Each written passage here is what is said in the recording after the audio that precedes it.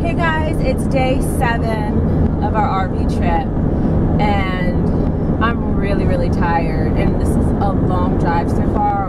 I've already done about three hours, and we have an another three, if not more, to go. But let me tell you why I'm so tired. Last night I go to bed at around midnight, and I was just. I wasn't dreaming or anything. I was just out and then all of a sudden I wake up. It's like next thing I know, I like wake up with a sense of urgency, and the room's completely dark. But in like my mind or like my mind's eye, I don't know. I, I like see this vision of me standing next to what looked like a really big black cricket, and I had this urgency to like get away from it. And I'm not scared of crickets, but that feeling of okay, you gotta like run, made me sit up in bed.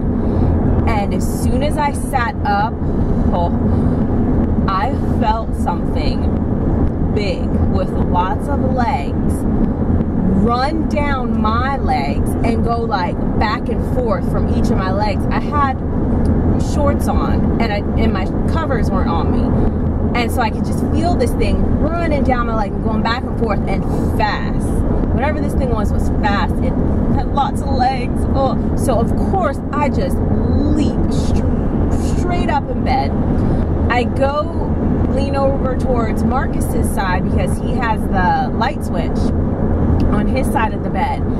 And as I'm doing this, you know, I'm like, like freaking out, and he wakes up and he's like, what, what, what? And of course, it's like deja vu for him for um, I vlogged about like a night terror that I had a few videos back and the same kind of thing happened where I like I swore I was, I was screaming that there was something in the walls. Apparently I thought there was giant bugs in the wall screwed up my knee really bad. And I vlogged about that, but so he was thinking I guess that I was having another night terror, but no, this was for real. So I switched the light on and he's like, what? And as soon as I switch the light, of course, I'm looking on my side of the bed where I felt this thing crawling on my body, and I see a huge black roach just dart right back under the covers. And I'm like, it's a roach, it's in the bed. And of course, he's like, what? No, you're seeing. But then he's like, all right, get off the bed, get off the bed. And so, like, I leap off that bed And I'm standing in the hallway, and of course he goes, and there it goes. It starts running and tries to hit it. It fell on the floor. He finally got this roach. I mean, this sucker was huge.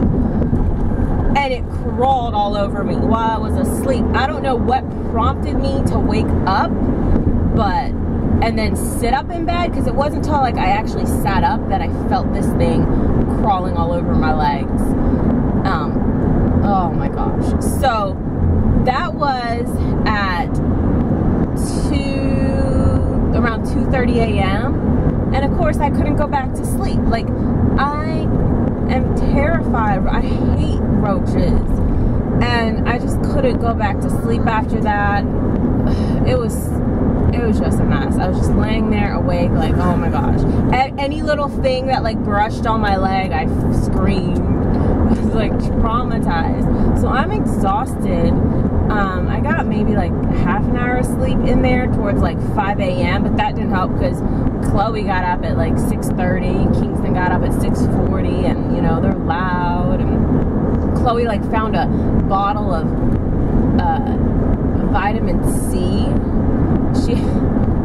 that had rolled, and uh, she was walking through the RV shaking that thing. It was so loud, and Marcus just didn't want to take it away from her. She was playing with it like maracas. So, yeah, that was my early morning.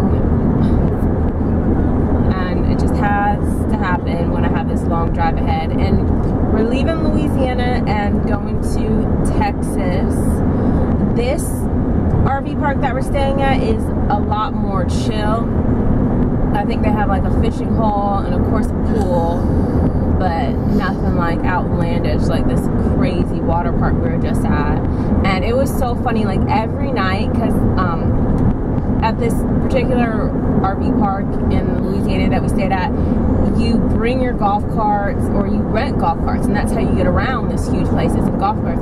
And at night, I mean, people tricked out their golf carts with like crazy flashing different colored lights and rims, and everyone has like a booming sound system in their golf cart.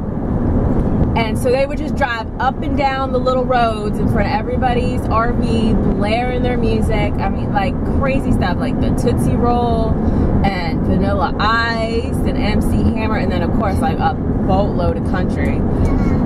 It was just a party all night long in the golf carts, and they're drinking, and you know it was it was cool though. Um, everyone in Louisiana that we met was so friendly, so friendly, and and there was like a lot of drinking and a lot of smoking.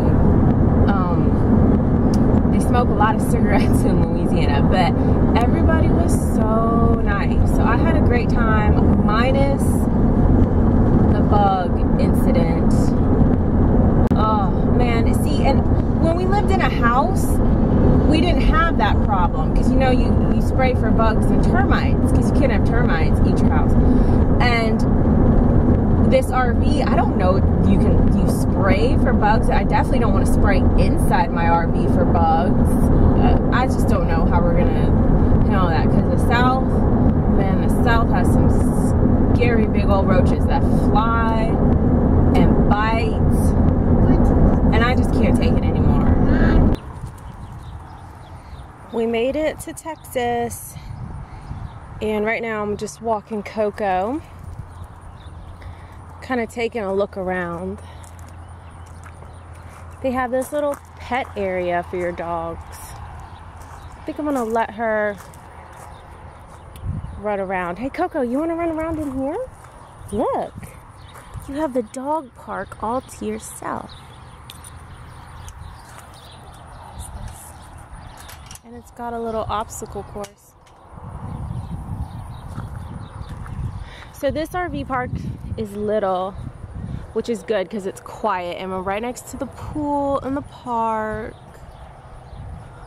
And there's a lot of open, flat land.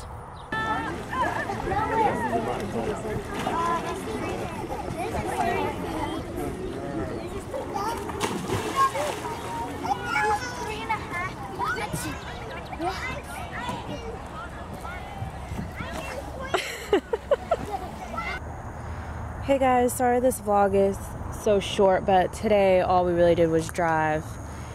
And it's like 10 o'clock and I'm walking Coco for the last time. And probably just gonna sit outside because it's so nice out here and look up at the stars. It is amazing, the sky, because there's not a lot of light pollution. There's a lot of noise pollution though from the highway. But you can see so many of the stars, so hopefully no UFOs because nobody's got time for that.